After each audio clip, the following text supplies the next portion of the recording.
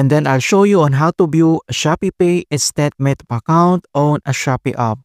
So all you have to do is to open up your Shopee applications and then you need to tap.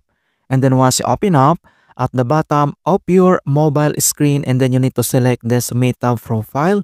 And then once you open up your Shopee homepage profile and then under at my wallet and then you need to tap or click this Shopee Pay and then once you open up your Shopee Pay account and again here at the bottom of your mobile screen and then you need to select this Me tab profile again and then click. So here now at your Shopee Pay homepage profile and then you need to select now this statement of account or SOA and then you need to click. So here now at statement of account, so you can view all your Shopee Pay statement of accounts by year and then by month from starting that you use your Shopee Pay account.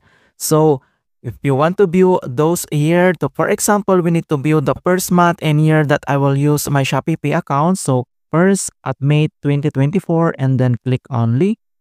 And automatically you can view now this uh, statement of account from the seed month in here. So this is the PDF and then account summary. You can view also here about the full details and then the transaction details about this Shopee Pay.